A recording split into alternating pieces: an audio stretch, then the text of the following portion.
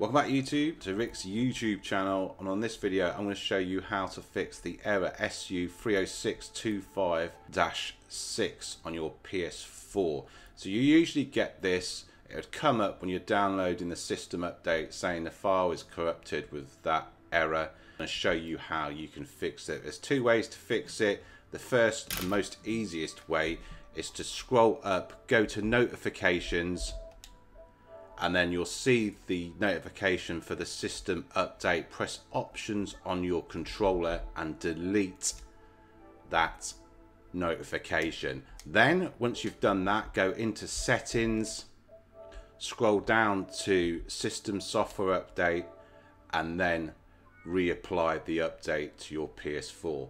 If that does not fix it, you still get the corrupted error coming up. You're going to have to boot your PS4 into safe mode, pick option 3 and then update system over the internet. And I would recommend plugging uh, a LAN cable into your PS4 and that should fix the corrupted error that you get when you download the update. Remember, I make Fortnite, Apex, Call of Duty videos please leave a like and remember to subscribe and I'll get back to you with another PS4 video. Thanks for watching.